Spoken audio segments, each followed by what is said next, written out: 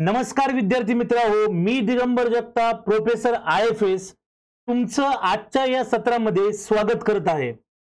तर आजच्या या सत्रामध्ये आपण पाहणार आहोत की महाराष्ट्र सेट ही जी परीक्षा आहे ती आपण कशा प्रकारे उत्तीर्ण करू शकतो?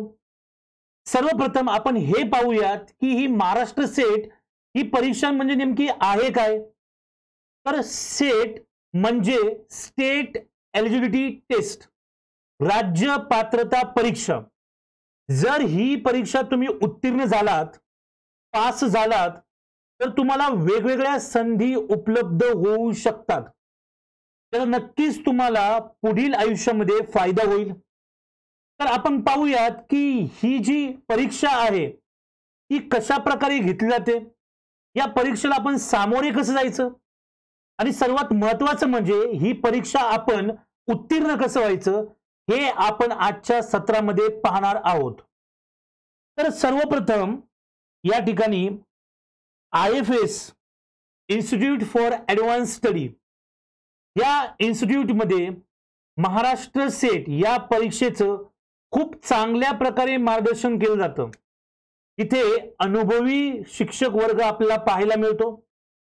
आणि यांचे जे रिझल्ट आहेत तेही खूप चांगले आहेत. तर तुम्ही या इन्स्टिट्यूटमध्ये आमच्या आय एफ एस इन्स्टिट्यूटमध्ये प्रवेश घेऊ शकता. तर दोन ऑक्टोबरला या ठिकाणी नवीन बॅच जी आहे ती सुरू होत आहे. त्याच्यासाठी तुम्ही आजच आपला प्रवेश जो आहे तो निश्चित करू शकता. आणि परीक्षेमध्ये महाराष्ट्र सेट परीक्षेमध्ये तुमचं सुवर्ण यश जे आहे तुम्ही आजच निश्चित करू शकता. तर आपण पाहूयात सर्वप्रथम की ही जी परीक्षा आहे त्या परीक्षेची रचना कशा प्रकारे असते? म्हणजेच या एक्झामचा पॅटर्न कसा असतो? सर्वप्रथम आपल्याला या ठिकाणी एलिजिबिलिटी क्रायटेरिया म्हणजे प्रवेश पात्रता पाहावी लागेल. जर एखाद्या विद्यार्थ्याने एम एस सी केली असेल म्हणजेच पदव्युत्तर शिक्षण घेतले असेल तर त्याला त्या डिग्रीमध्ये कमीत कमी पंचावन्न टक्के असायला हवेत. मग तो विद्यार्थी general OBC S C S T कुठल्याही कॅटेगरीचा असेल म्हणजेच त्याला आपण खुला प्रवर्ग इतर मागासवर्गीय अनुसूचित जाती जमाती या कुठल्याही वर्गामधला तो विद्यार्थी असेल तर त्याला एम एस सी मध्ये म्हणजेच पदव्युत्तर परीक्षेमध्ये कमीत कमी पंचावन्न टक्के गुण असायला हवेत. पंचावन्न टक्के मार्क्स असले पाहिजेत. या ठिकाणी जी वयाची अट आहे त्यालाच आपण एज लिमिट म्हणतो. तर या परीक्षेस पात्र होण्यासाठी वयाची कुठलीही अट नाहीये.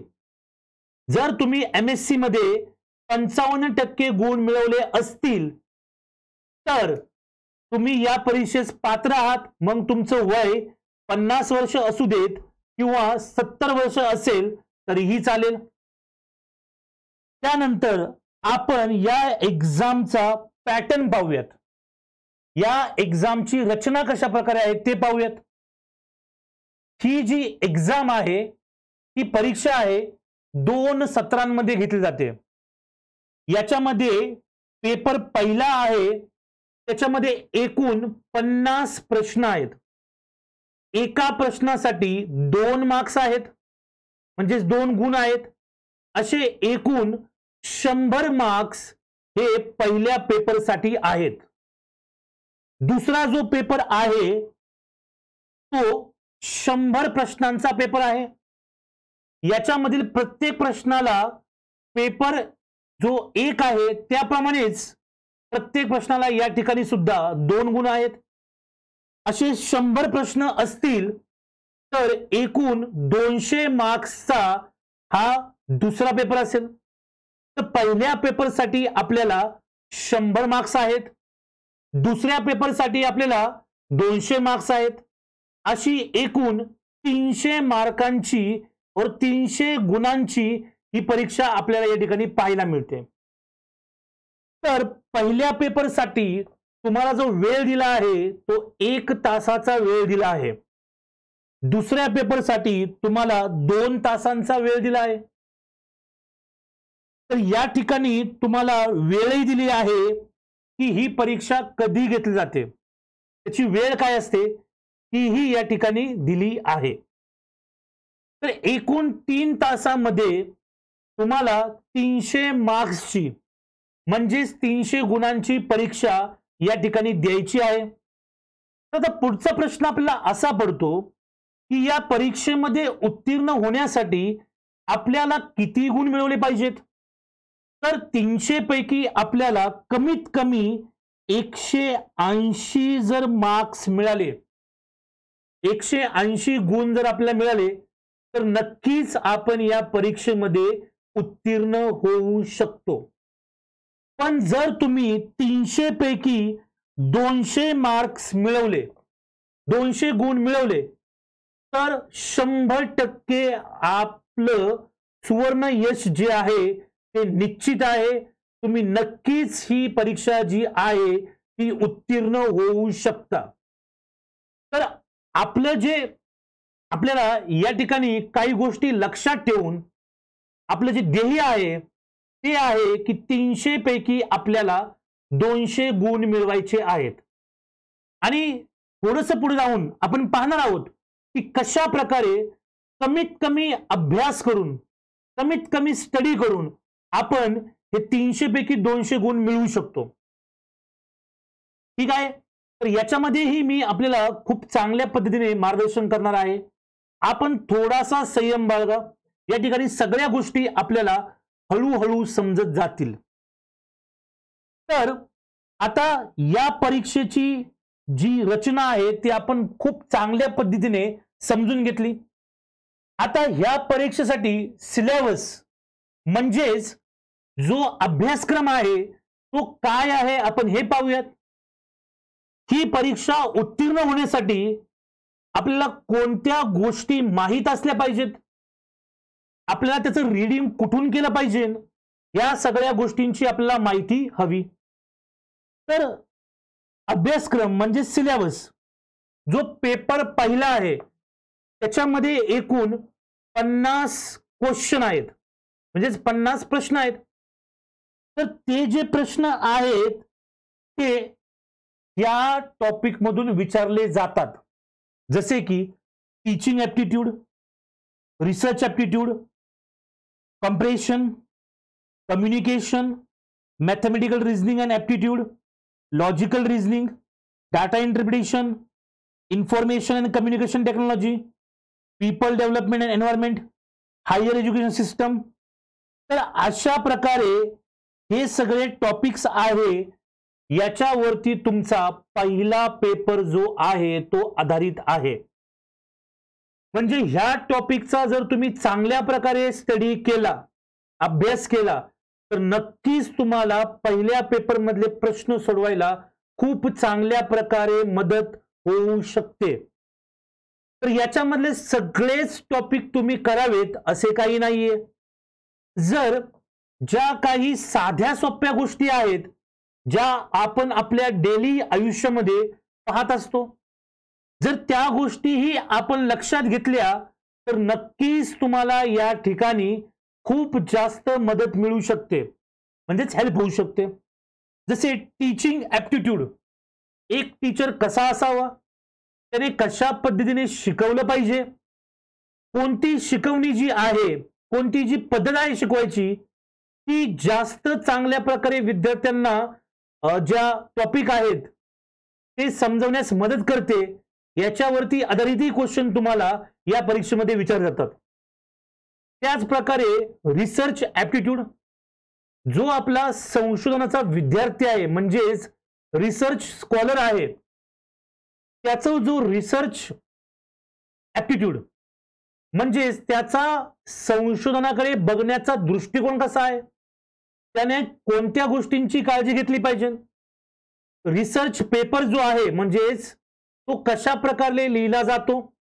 त्यासाठी कोणकोणत्या अटी आहेत? या सगळ्या गोष्टींची माहिती या ठिकाणी असली पाहिजे. तसेच कम्युनिकेशन म्हणजे या ठिकाणी खूप सारे कम्युनिकेशनचे प्रकार असतात. वर्बल कम्युनिकेशन आहे नॉन वर्बल कम्युनिकेशन आहे. भरपूर साऱ्या गोष्टी याच्यामध्ये असतात. ठीक आहे? त्यानंतर मॅथमॅटिकल रिझनिंग आणि ऍप्टिट्यूड म्हणजेच या ठिकाणी खूप साधं आणि सिंपल मॅथमॅटिक्स तुम्हाला विचारलं जातं. ज्याची आन्सर्स आपण खूप सिंपल पद्धतीने देऊ शकतो किंवा साध्या पद्धतीने देऊ शकतो. तसेच लॉजिकल रिझनिंग डेटा इंटरप्रिटेशनमध्ये तुम्हाला काही डेटा जाईल आणि त्या डेटामध्ये तुम्ही त्याला कशा प्रकारे इंटरप्रिट करू शकता याची याच्यावरती क्वेश्चन्स तुम्हाला त्या ठिकाणी विचारले जातील. त्यानंतर इन्फॉर्मेशन आणि टेक्नॉलॉजी जसे की फेसबुक इंस्टाग्राम विकिपीडिया गुगल हे जे काही सोशल मीडिया आहे याच्यावरतीही तुम्हाला आधारित काही क्वेश्चन्स पाहायला मिळतील. म्हणजे जसंच की फेसबुकचा जन्म कधी झाला? इंस्टाग्रामचा जन्म कधी झाला? यांची जी ऑर्डर आहे म्हणजेच क्रमवारी आहे ती कशी आहे? कोण अगोदर आलं कोण नंतर आलं याची क्रमवारी या ठिकाणी तुम्हाला विचारली जाते. People development and environment environment म्हणजेच जे काही आपले वातावरण आहे त्याच्यामध्ये कोणकोणते जे असे फॅक्टर्स आहेत की जे एन्व्हायरमेंटला खराब करतात आपण काय काळजी घेऊ शकतो एन्व्हायरमेंटची किंवा कोणत्या वायूमुळे म्हणजेच गॅसमुळे जास्त पोल्युशन होते अशा प्रकारचे साधे आणि सोपे क्वेश्चन आपल्याला या परीक्षेमध्ये पाहायला मिळतात. हायर एज्युकेशन सिस्टम याच्यामध्ये युजीसी म्हणजे काय? डीम्ड युनिव्हर्सिटीज म्हणजे काय? एच आर डी म्हणजे काय? त्यांचा फुलफॉर्म काय आहे? हे असे सोपे आणि साधे प्रश्न हे पहिल्या पेपरमध्ये विचारले जातात. तर तुम्हाला याच्यामधले सगळे टॉपिक्स करायची गरज नाहीये. जर तुम्ही काही सिलेक्टिव्ह आणि ज्याच्याबद्दल तुम्हाला खूप जास्त माहिती आहे असे जर टॉपिक तुम्ही केले तर नक्कीच तुम्हाला खूप जास्त फायदा होऊ शकतो आणि कमीत कमी अभ्यासामध्ये तुम्ही जास्तीत जास्त मार्क्स मिळवू शकता. तर हा पेपर पहिला आहे. आता जो पेपर दुसरा आहे त्याच्यासाठी जो सिलेबस आहे ते पाहण्या अगोदर मला तुम्हाला या ठिकाणी एक गोष्ट सांगायची आहे. जी आय एफ एस आहे आमचं त्यांनी ह्या पेपर एक साठी खूप चांगल्या प्रकारचं बुक प्रकाशित केलेलं आहे. तुम्ही पाहू शकता त्या बुकचं हे कव्हर पेज आहे. तर SET teaching and research aptitude याच्यामध्ये आपल्या भारतातील विविध राज्यामध्ये जी सेट परीक्षा घेतली जाते त्याच्यामध्ये जे पेपर वनमध्ये म्हणजेच पेपर पहिला जे क्वेश्चन्स विचारले जातात ते सगळे क्वेश्चन्स तुम्हाला या बुक्समध्ये पाहायला मिळतील. त्यामुळे तुम्ही जर हे बुक घेतलं तर नक्कीच तुम्हाला खूप जास्त क्वेश्चन जे आहेत ते तयारी करायला मिळतील प्रॅक्टिस करायला मिळतील. तर नक्कीच तुम्ही हे बुक जे आहे ते इथून घेऊ शकता. त्यानंतर जो पेपर टू आहे ज्याच्यामध्ये एकूण शंभर क्वेश्चन्स आहेत. पेपर दोन जो आहे त्याच्यामध्ये शंभर क्वेश्चन आहेत. तर त्याच्यासाठी जो सिलेबस आहे आपला तो आहे cell biology biochemistry plant physiology animal anatomy and physiology genetics evolution environment biology biodiversity taxonomy तर हे सगळे cell signalling and immunology developmental biology molecular biology biological techniques applied biology तर अशा प्रकारे हा जो पूर्ण अभ्यासक्रम म्हणजे सिलेबस आहे तो पेपर दोनचा आहे. आता याच्यामध्ये पेपर दोन जो आहे तो पूर्णपणे आपल्या जो एम एस सीचा अभ्यासक्रम किंवा बीएससीचा जो सिलेबस आहे त्याच्यावरती आधारित आहे. आणि जर तुम्ही पाहायला गेलात जसं की सेल बायोलॉजी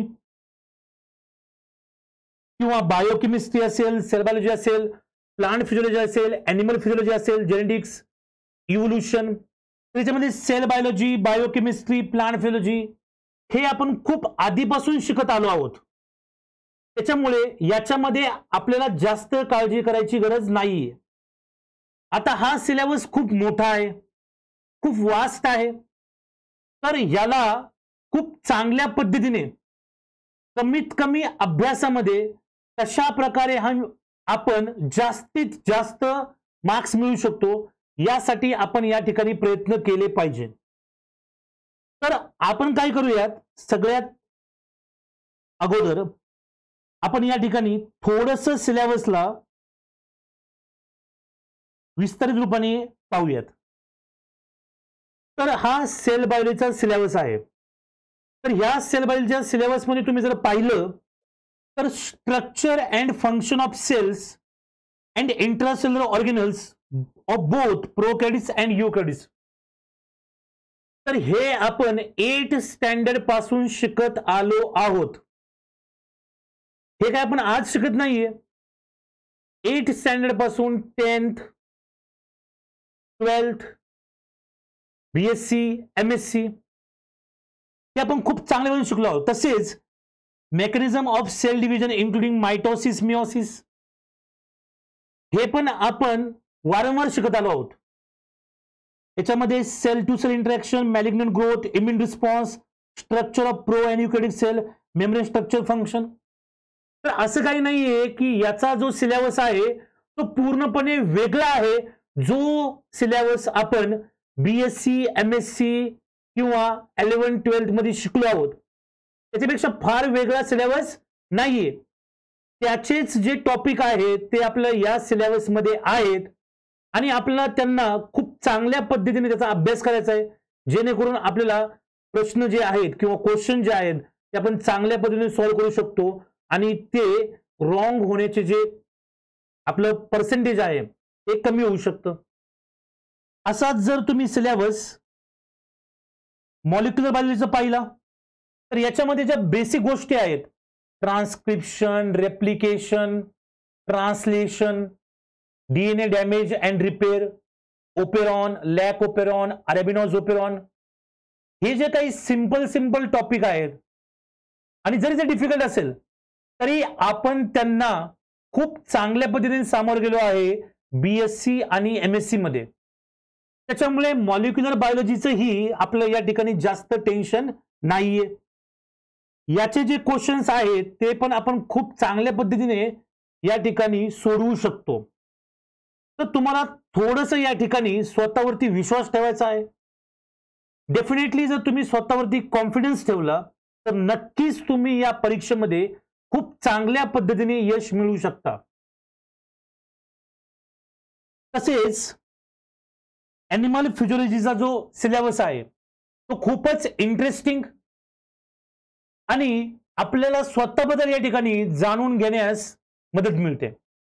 जसं की histology of mammalian organ system nutrition digestion absorption circulation muscular contraction electric organs excretion osmoregulation आपल्या बॉडीमध्ये ज्या सिस्टम्स आहेत respiratory system digestive system circulatory system endocrine system या वेगवेगळ्या सिस्टमचा आपल्याला या ठिकाणी अभ्यास करायला मिळतो याच्यामध्ये.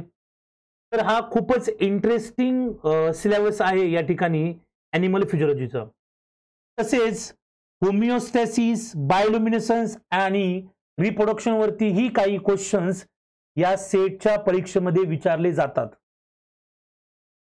त्यानंतर जो डेव्हलपमेंटल बायोलॉजीचा सिलेबस आहे तोही खूप छान पद्धतीचा सिलेबस आपल्याला या ठिकाणी पाहायला मिळतो. आणि यालाही आपण इंटरेस्टिंग म्हणू शकतो.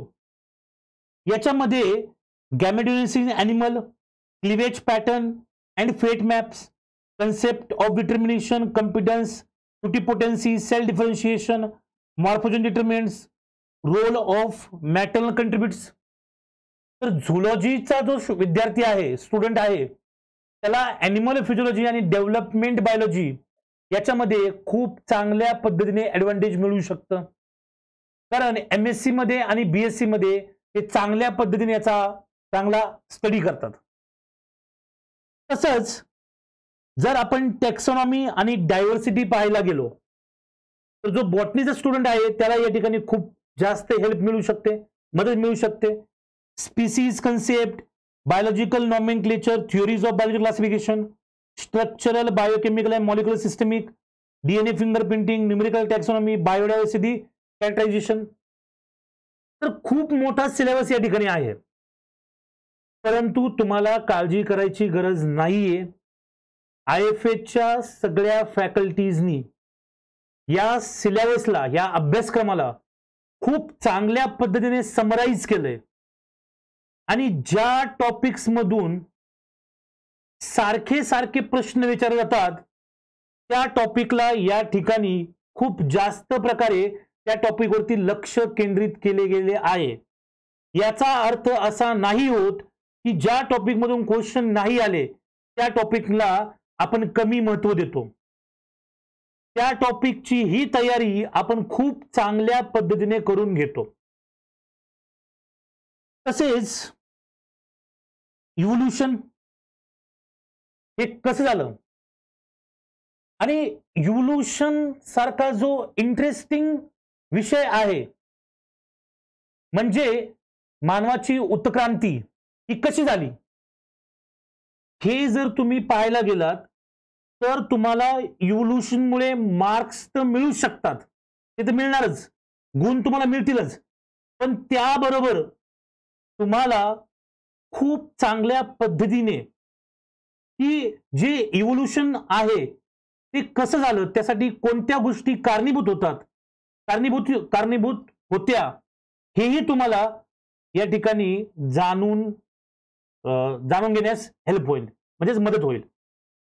तर अशा प्रकारे इव्होल्युशनचा या ठिकाणी हा सिलेबस आहे. Origin of life concept of evolution theories of organic evolution mechanism of speciation तसेच हार्डी विनबर्ग इक्विलिब्रियम आता या इव्होल्युशनमध्ये तुम्ही पाहायला गेलात तर एक प्रश्न जो आहे हार्डी विनबर्ग वरती नेहमी विचारला जातो. शंभर टक्के हार्डी विनबर्ग वरती एक क्वेश्चन असतोच.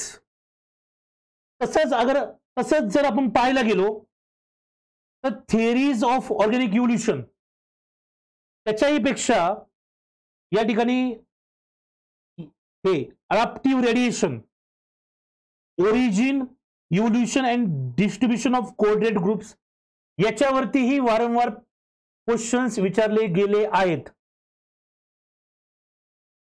नंतर principles of palaeobotany economic importance of algae fungi lichen हेही खूप इम्पॉर्टंट आहेत. जर आपण सेट परीक्षेच्या दृष्टीने पाहायला गेलं तर. त्यानंतर हे पेपर दोन साठी. आय एफ एसने प्रकाशित केलेलं दुसरं बुक आहे सेटसाठी. याच्यामध्ये तुम्हाला खूप जास्त प्रश्न मिळतील. सरावासाठी प्रॅक्टिस करण्यासाठी जर तुम्ही हे बुक घेतलं जर ह्या बुकचे तुम्ही सगळे प्रश्न व्यवस्थित जर तुमच्या कॉन्सेप्ट पूर्णपणे मजबूत असतील क्लिअर असतील. आणि जर तुम्ही यातले प्रश्न जर सॉल्व्ह केले तर डेफिनेटली तुम्हाला सेटच्या परीक्षेमध्ये याचा खूप जास्त फायदा होईल. तुम्ही आय एफ एच्या संकेतस्थळाला म्हणजेच वेबसाईटला भेट देऊ शकता आणि आजच हे बुक मागवू शकता. या बुकची जी किंमत आहे ती खूपच कमी आहे. सगळ्यांना परवडेल. अशीच किंमत या पुस्तकाची आहे. जर ही तुम्ही दोन पुस्तके मागवलीत तर नक्कीच तुम्हाला सेट परीक्षेसाठी तयारी करण्यात खूप जास्त मदत मिळेल. त्यानंतर इकोलॉजी अँड एन्व्हायरमेंटल बायोलॉजी हे एक असं युनिट आहे जे तुम्हाला खूप चांगल्या प्रकारे करायचंय. यासाठी दोन कारण आहेत. पहिलं कारण तर हे की इकोलॉजी आणि एन्व्हायरमेंटल बायोलॉजीवरती खूप जास्त प्रश्न सेटच्या परीक्षेमध्ये विचारले जातात. जर तुम्ही तुलना केली बाकीच्या युनिट्स बरोबर तर इकोलॉजी आणि एन्व्हायरमेंट बायोलॉजी मधून खूप जास्त प्रश्न तुम्हाला विचारले जातात. आणि तसंच एन्व्हायरमेंट वरती जो आपला पेपर एक आहे त्याच्यामध्येही खूप सारे प्रश्न विचारले जातात. त्यामुळे तुम्हाला दोन्ही ठिकाणी फायदा होऊ शकतो. पेपर दोन मध्ये तुम्हाला फायदा होईल आणि पेपर एक मध्येही तुम्हाला फायदा होऊ शकतो. आता याच्यामध्ये काय आहे? जसं की तुम्ही पाहू शकता याच्यामध्ये इकोसिस्टम आहे ते खूप महत्वाचं आहे. तसेच types of ecosystem environmental pollution food web food chain cycles in nature carbon cycle nitrogen cycle phosphorus cycle sulphate cycle ecosystem dynamics and management या सगळ्या गोष्टी तुम्हाला या ठिकाणी खूप चांगल्या पद्धतीने स्टडी करायच्या आहेत. आणि त्यानंतर बॉटनी आणि plant physiology botany and plant physiology हा जो आहे जर तुम्ही तुलना केली बाकी न्यूज बरोबर तर सगळ्यात सोपे जे क्वेश्चन्स असतात ते बॉटनी आणि प्लांट फिजिओलॉजी मधून विचारले जातात. खूप बेसिक लेवलचे क्वेश्चन्स म्हणजेच खूप वरवरून प्रश्न विचारले जातात या दोन टॉपिकमध्ये जर आपण पाहायला गेलं centres of origin and gene diversity botany utilization cultivation तसेच unexploited plants of potential economic value genetic resources and their conservation physiology and biochemistry of seed dormancy germination stomatal physiology photosynthesis वरती एक क्वेश्चन तर हा नक्कीच येतो. कुठलाही सेटचा paper तुम्ही घ्या तुम्हाला फोटोसिंथेसिस वरती एक क्वेश्चन नक्कीच पाहायला मिळेल. त्याच प्रकारे सोर्स अँड सिंक रिलेशनशिप. याच्यावरतीही सारखा क्वेश्चन विचारला जातो. म्हणजे प्लांट्स जे फूड बनवतात ते कशा प्रकारे जिथे बनवलं आहे तिथून दुसऱ्या जागेवर ट्रान्सपोर्ट केलं जातं. याच्याबद्दल जी माहिती आहे या टॉपिकबद्दल. त्याच्यावरती खूप चांगल्या पद्धतीचे प्रश्न स्टेट परीक्षेमध्ये सारखे विचारले जातात. तसंच अप्लाइड बायोलॉजी मध्ये नायट्रोजन फिक्सेशन हा खूप महत्त्वाचा टॉपिक आहे. म्हणजेच खूप इम्पॉर्टंट टॉपिक आहे. Microbiology of water air soil and sewage pathological agents in plant animal man म्हणजेच डिझीज वरतीही तुम्हाला प्रश्न विचारले जातील. कोणत्या व्हायरसमुळे कोणता डिझीज होतो? कोणत्या बॅक्टेरियामुळे कोणता डिझीज होतो? तर तुम्हाला हे माहीत असायला हवं.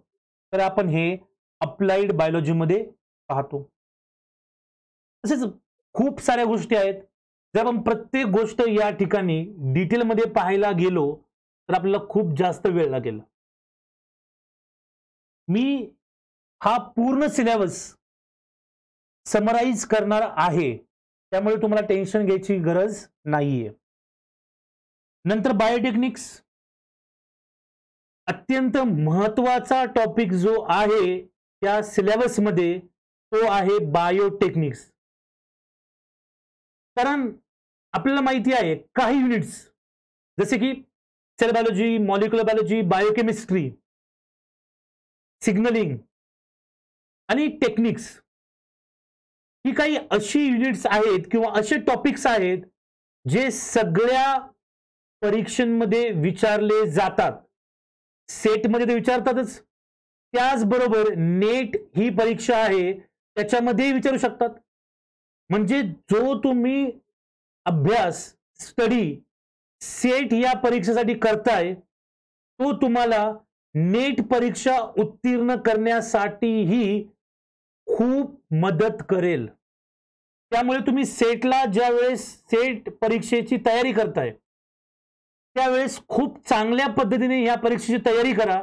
जेणेकरून तुम्हाला नेट परीक्षेसाठी सुद्धा त्याचा खूप फायदा होईल. त्यानंतर हा परत पुन्हा बायोटेक्निकचाच सिलेबस आहे अभ्यासक्रम आहे. याच्यामध्ये तुम्ही पाहू शकता एनएमआ वरतीही क्वेश्चन तारका विचारतात. X ray diffraction fluorescence UV O R D principle and application of special techniques त्यानंतर ऑटो रेडिओग्राफी त्यानंतर तुम्ही पाहू शकता बेसिक स्टॅटिस्टिक्स हा हे खूप महत्वाचं आहे. Average statistics of dispersion coefficient of variation याच्यावरती वारंवार क्वेश्चन विचारले जातात. आणि त्यानंतर सगळ्यात शेवटी सेल सिग्नलिंग कॅन्सर आणि इम्युनॉलॉजी इम्युनॉलॉजी जो आहे तो रिसर्चचा आजकालचा सगळ्यात महत्त्वाचा टॉपिक आहे. त्याच्यामुळे त्याच्यामध्येही खूप सारखे प्रश्न विचारले जातात. किंवा तुम्ही जर पुढे कधी जाऊन इंटरव्ह्यूला गेलात तर नक्कीच तुम्हाला इम्युनॉलॉजीच्या वरती सुद्धा खूप जास्त प्रश्न विचारले जातात. त्यामुळे तुम्ही ह्या टॉपिकला खूप महत्त्व द्या. आणि इम्युनॉलॉजीमध्ये तुम्हाला फार कमी स्टडी करावा लागतो आणि त्या कमी स्टडीमध्ये तुम्ही खूप चांगले मार्क्स मिळू शकता. ठीक आहे? तर हा आपला पूर्ण सिलेबस आहे. आता कुठलीही परीक्षा जर तुम्हाला उत्तीर्ण व्हायची असेल किंवा पास व्हायची असेल तर तुम्हाला सगळा सिलेबस करायची गरज नाहीये. तुम्हाला त्या परीक्षेचं संपूर्ण स्वरूप त्या ठिकाणी पाहावं लागेल. कशा प्रकारचे क्वेश्चन्स विचारले जातात त्यांची जी डिफिकल्टी लेवल आहे ती किती आहे? प्रश्न सोपे असतात की फार अवघड असतात हे तुम्हाला त्या ठिकाणी सर्वप्रथम पाहावं लागेल. आणि नंतर मग तुम्ही त्या पद्धतीने आपला जो स्टडी आहे तो सुरू ठेवू शकता. आता मी सिलेबस तुम्हाला थोडक्यात समजवला आहे. याच्यामध्ये आय एफमध्ये आम्ही हा सिलेबस इतका चांगल्या पद्धतीने डिझाईन केला आहे की त्याच्यामध्ये तुम्हाला खूप कमी अभ्यासामध्ये खूप जास्त मार्क्स मिळतील. आणि जी या ठिकाणी शिकवण्याची पद्धत आहे ती खूपच वेगळी आहे. म्हणजे या ठिकाणी तुम्हाला प्रत्येक गोष्ट जी आहे एकदम डेप्थमध्ये जाऊन समजावली जाते. त्यामुळे जर तुम्हाला सेट परीक्षा उत्तीर्ण व्हायचं असेल तर आय एफ एस हा तुमच्याकडे एक खूप चांगला पर्याय आहे. तुम्ही आय एफ एसमध्ये प्रवेश घेऊ शकता. आणि या परीक्षेची खूप चांगल्या पद्धतीने तयारी करू शकता. तर आता आपण पेपर अनालिसिस म्हणजेच प्रश्नपत्रिका विश्लेषण या ठिकाणी पाहूयात. तर कोणत्या टॉपिकला जास्त वेटेज आहे महत्त्व आहे? आणि कोणत्या टॉपिकला कमी महत्त्व आहे हे आपण या ठिकाणी पाहणार आहोत. तर तुमच्यासमोर हा एक टेबल आहे. याच्यामध्ये टॉपिक्स आणि ॲव्हरेज नंबर ऑफ क्वेश्चन्स म्हणजे सरासरी किती प्रश्न विचारले जातात ते या ठिकाणी दिले आहे. तर बायोकेमिस्ट्रीचे तुम्हाला पंधरा ते अठरा प्रश्न या ठिकाणी विचारले जातात. तसेच प्लांट फिजिओलॉजी आणि बॉटनीचे बारा ते अठरा इकोलॉजी आणि बायोलॉजीचे बारा ते दहा ते बारा तसेच मॉलिक्युलर बायोलॉजीचे आठ ते बारा बायोलॉजिकल टेक्निकचे दहा ते बारा टॅक्सॉनॉमी अँड डायव्हर्सिटीचे दहा ते बारा जेनेटिकचे नऊ ते बारा सेल सिग्नलिंग अँड इम्युनॉलॉजीचे आठ ते अकरा. म्हणजे आत्तापर्यंत तुम्हाला समजलं असेल की हे जे काही पेपर अनालिसिस आहे ते फक्त पेपर दोनचं आहे. पेपर एकचं अनालिसिस इथं नाही दिलेलं आहे. पण त्याच्यामध्ये तुम्ही काळजी करू नका. खूप चांगल्या पद्धतीने अजून एक व्हिडिओ मी त्याच्यावरती बनवेल आणि त्यामध्ये तुम्हाला काय केलं पाहिजे आणि काय नाही केलं पाहिजे या सगळी सगळ्या गोष्टी ज्या आहेत त्या मी तुम्हाला विस्तारित रूपात त्या ठिकाणी सांगेल. Cell biology evolution animal phylogeny आणि डेव्हलपमॅलॉजी यांच्यावरती खूपच कमी प्रश्न विचारले जातात. म्हणजेच तुम्हाला जास्त लक्ष केंद्रित केलं पाहिजे biochemistry plant physiology ecology and environmentology molecular biology biological technique taxonomy diversity आणि जेनेटिक्स वरती. कुठलीही परीक्षा जर तुम्हाला उत्तीर्ण व्हायची असेल तर तुम्हाला चार गोष्टी खूप चांगल्या पद्धतीने केल्या पाहिजेत. सर्वप्रथम तुम्ही हे पहा की त्या परीक्षेचे जे मागील वर्षांचे पेपर्स असतील प्रश्नपत्रिका असतील त्यांचा तुम्ही खूप डेप्थमध्ये अभ्यास करा.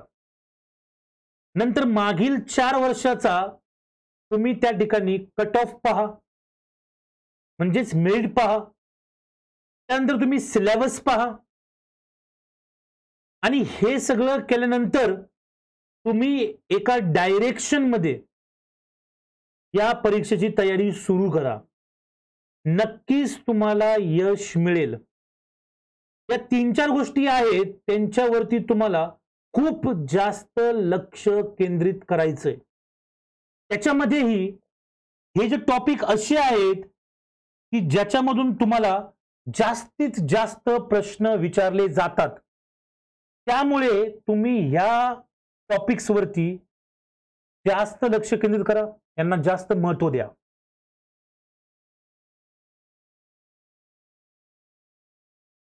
त्यानंतर आता आपण पाहूयात की कशा प्रकारे आपण या परीक्षेला सामोरे जाऊन या परीक्षेमध्ये उत्तीर्ण होऊ शकतो. आता जे एकूण गुण जे आहेत या परीक्षेमध्ये ते तीनशे आहेत म्हणजे थ्री हंड्रेड आहेत. तुम्हाला किती मार्क्स मिळवायचे आहेत? एकशे ऐंशी ते दोनशे. कारण जर मागील तीन ते चार वर्षांचा कट ऑफ जर आपण पाहिला तर तो फिफ्टी सिक्सपासून सिक्स्टी टू म्हणजेच छप्पन्न टक्क्यांपासून बासष्ट टक्क्यांपर्यंत हा कट ऑफ आहे. पर्सेंट हे जे तुम्हाला दिलंय टक्केवारीमध्ये दिलंय गुणांमध्ये नाही दिलं. म्हणजेच तुम्हाला छप्पन टक्के ते बासष्ट टक्के इतके गुण मिळाले पाहिजेत. म्हणजेच एकशे ऐंशी ते दोनशे. आता छप्पन टक्के ते बासष्ट टक्के म्हणजे एकशे ऐंशी दोनशे नाहीये. पण जर तुम्हाला वाटत असेल की मी सेफर सेफली मी पास झालो पाहिजे तर तुम्ही काय केलं पाहिजे? कमीत कमी या परीक्षेमध्ये दोनशे गुण मिळवले पाहिजेत. एकशे ऐंशी म्हणजे तुम्हाला किती टक्के गुण मिळेल? साठ टक्के. पण कधी कधी ह्या परीक्षेचं जे मेरिट आहे ते बासष्ट टक्क्यांवरतीही जातं. तुम्हाला जर साठ टक्के मिळले तर तुम्ही पास होऊ शकत नाही तुम्ही उत्तीर्ण होऊ शकत नाही. म्हणून मी तुम्हाला सांगतो या ठिकाणी की कमीत कमी तुम्ही दोनशे गुण मिळवा. दोनशे गुणांपेक्षा जास्त याचं मेरिट जाऊ शकत नाही. असा माझा प्राथमिक अंदाज आहे. समजते त्यासाठी तुम्हाला काय केलं पाहिजे? तुम्हाला कमीत कमी पेपर एक मधून एकूण प्रश्न पन्नास आहे.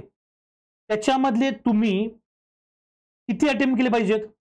पन्नास पैकी तुम्ही फक्त वीस जरी क्वेश्चन्स बरोबर आणले तरी एका प्रश्नाला दोन मार्क्स तर असे तुम्हाला या ठिकाणी चाळीस मार्क्स मिळतील.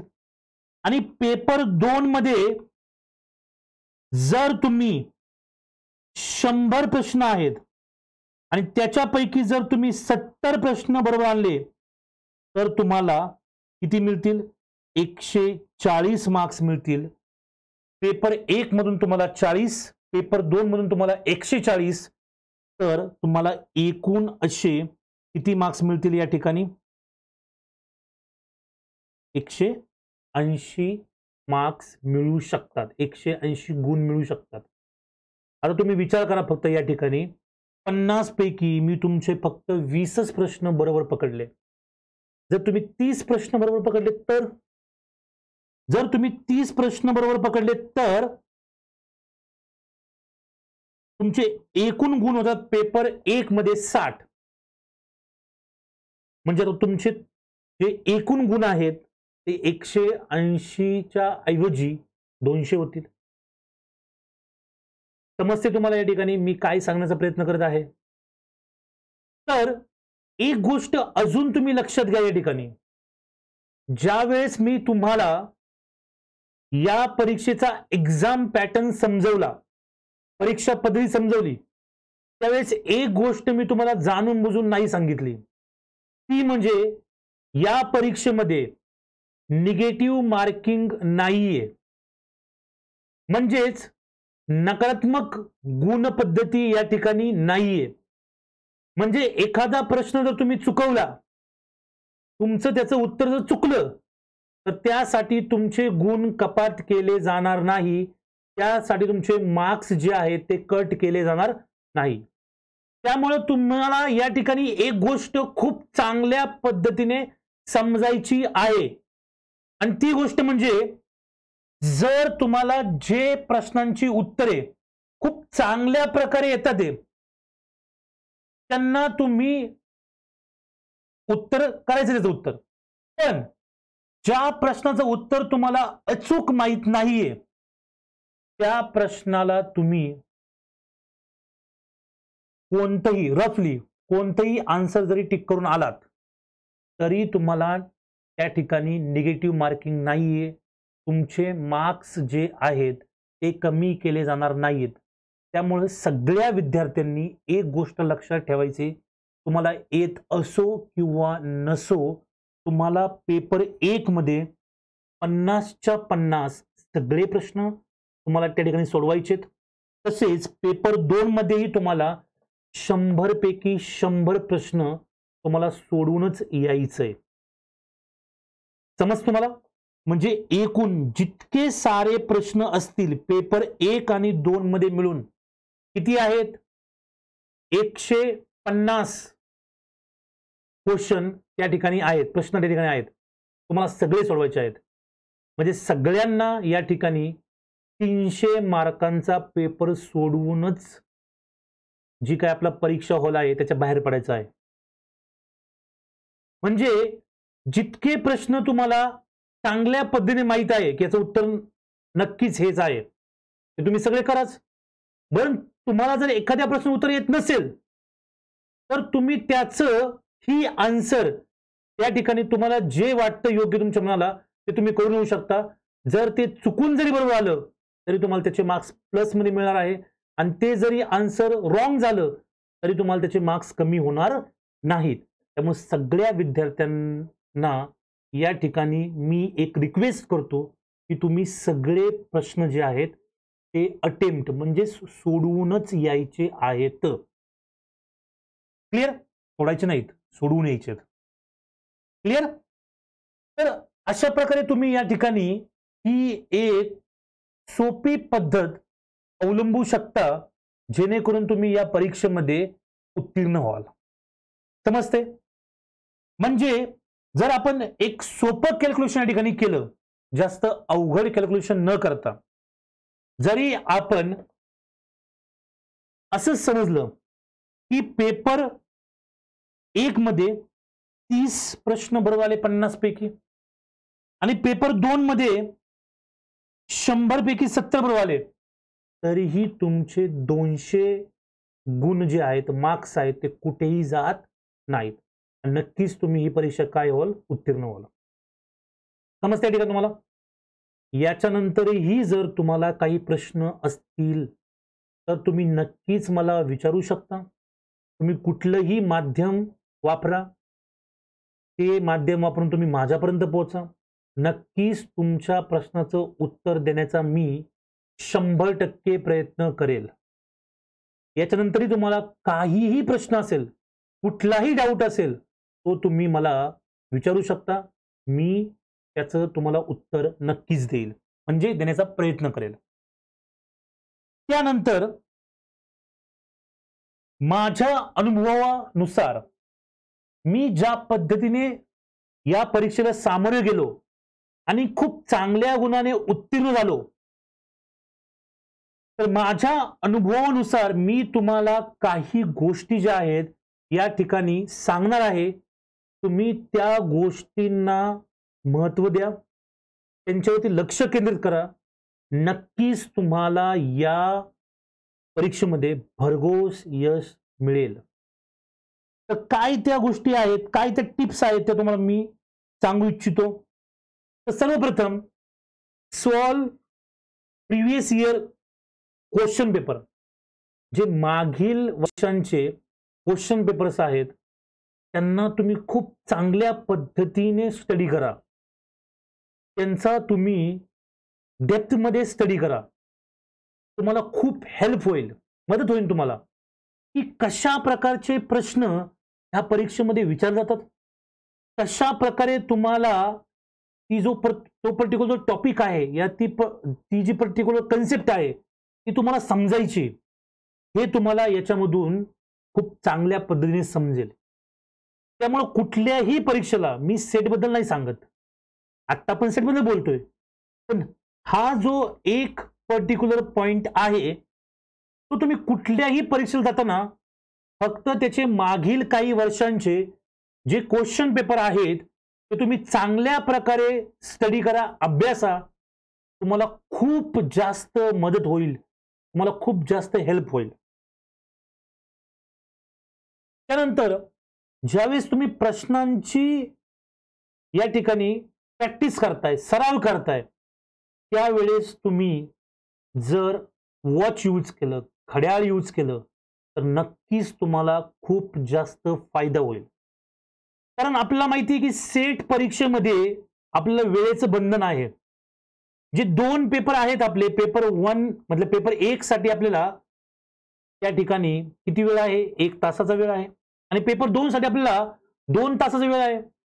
तर तेवढ्या वेळेमध्ये जर आपल्याला पेपर हा पूर्ण सोडवायचा असेल तर पेपरला जायच्या अगोदरच आपली घड्याळ लावून त्या ठिकाणी प्रॅक्टिस झालेली असावी. आपण घड्याळ लावून सराव केलेला असावा. तर तो नेहमीच आपल्या फायद्याचा राहील. त्यानंतर attempt all there is no सगळे प्रश्न सोडवा. हे मी अगोदरच तुम्हाला सांगून टाकलंय. सगळे प्रश्न सोडवा. भलेही तुम्हाला ते येत असो किंवा नसो. तुम्हाला सगळे प्रश्न सोडवायचे मग तुम्ही कोणतंही आन्सर टिक केलं जर चुकून जरी त्या प्रश्नाचं जे उत्तर आहे ते बरोबर आलं तर नक्कीच तुम्हाला त्या ठिकाणी मार्क्स मिळू शकतात.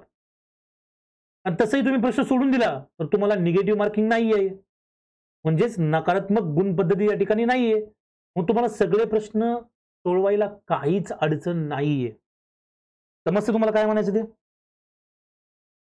त्यानंतर तुम्ही पेपरला खूप चांगल्या पद्धतीने एकदा तपासा. त्याला अनालाइज करा. म्हणजेच की यामध्ये कशा प्रकारचे प्रश्न विचारले आहेत? हा पेपर खरोखरच अवघड आहे की हा सोपा आहे? म्हणजेच पेपर इझी आहे डिफिकल्ट आहे हे पहा. जर पेपर इझी असेल तर तो सगळ्यांसाठीच इझी आहे. आणि तो डिफिकल्ट असेल तर तो सगळ्यांसाठी डिफिकल्ट आहे. जर तुम्ही चांगल्या पद्धतीने अभ्यास केला असेल तर तुम्ही या कॅटेगरीमध्ये येऊ शकता. म्हणजे कोणत्या? जर पेपर अवघड असेल तर तो सगळ्यांनाच अवघड असेल. तर पेपर सोपा असेल तो सगळ्यांना सोपा असेल. तर तुम्ही जर अभ्यास नाही केला तर सोपा पेपरही तुम्हाला काय वाटेल? अवघड वाटेल. त्यामुळे तुम्ही पेपरला खूप चांगल्या पद्धतीने पहा. तो जर अवघड असेल किंवा डिफिकल्ट असेल सगळ्यांसाठी आहे. सोपा असेल इझी असेल तर सगळ्यांसाठी आहे. त्याच्यामध्ये तुम्हाला जास्त काळजी करायची गरज नाहीये. या ठिकाणी तुम्हाला जास्त वाचायची गरज नाहीये. मला माहीत आहे मराठीमध्ये एक मन आहे वाचाल तर वाचाल पण ही मन या ठिकाणी लागू होत नाही. या परीक्षेसाठी आपला अभ्यासक्रम खूप मोठा आहे. आपला सिलेबस खूप मोठा आहे. त्याच्यामध्ये आपल्याला खूप चांगल्या पद्धतीने खूप ज्या महत्त्वाच्या गोष्टी आहे त्यांच्यावरती लक्ष केंद्रित करून तिथून आपल्याला जास्तीत जास्त प्रश्न सोडून आपल्याला गुण जे आहेत ते संपादन करायचे आहेत. समजते ठिकाण तुला? तुम्हाला मला काय सांगायचं आहे ते? तर तुम्हाला खूप जास्त रीडिंग करायची गरज नाहीये. खूप जास्त वाचन करायची गरज नाहीये. अशा टॉपिक्सना तुम्ही खूप जास्त महत्त्व द्या ज्या टॉपिकमधून सारखे सारखे प्रश्न विचारले आहेत. आणि त्यानंतर सगळ्यात शेवटी म्हणजे तुम्ही नेहमी जे सराव तुमचे सराव प्रश्नपत्रिका असतील किंवा तुमचे प्रॅक्टिस क्वेश्चन पेपर असतील त्याच्यामध्ये नेहमी तुम्ही पाहत राहा. की तुम्हाला किती मार्क्स मिळतात ते तुम्हाला अंतिम परीक्षेमध्ये किती गुण मिळवायचेत? आणि मला आत्ता किती मिळतात ते तर माझी आजची तयारी किती? जर तुम्हाला अंतिम परीक्षेमध्ये दोनशे गुण मिळवायचे आणि तुम्हाला जर सराव परीक्षेमध्ये दोनशे गुण मिळत असतील तुमची तयारी आहे. पण तुम्हाला जर अडीचशे मिळत असेल तुमची खूप जास्त तयारी आहे. पण तुम्हाला जर दीडशे मिळत असेल तुम्हाला अजून थोडं थोडीशी सुधारणा करायची गरज आहे. तुम्हाला जर शंभर मिळत असतील तुम्हाला खूप जास्त सुधारणा करायची गरज आहे. म्हणजे ज्यावेळेस तुम्ही प्रॅक्टिस क्वेश्चन पेपर सोडवत असाल त्यावेळेस तुम्हाला स्वतःला त्या ठिकाणी आत्मपरीक्षण करायचं आहे. तुम्हाला पाहायचं आहे. की मला किती मार्क्स मिळतात हे? मला किती मिळवायचे आहेत? म्हणजे ह्या गोष्टींवरती तुम्ही खूप जास्त लक्ष ठेवलं पाहिजे. ठीक आहे? तर ह्या काही महत्त्वाच्या गोष्टी आहेत ज्यांना मी माझ्या स्वतःच्या परीक्षेच्या वेळेस जेव्हा मी तयारी करतो त्यावेळेस यांच्यावरती मी खूप जास्त महत्त्व म्हणजे खूप जास्त लक्ष केंद्रित केलं होतं. त्यामुळं मला चांगलं यश मिळलं.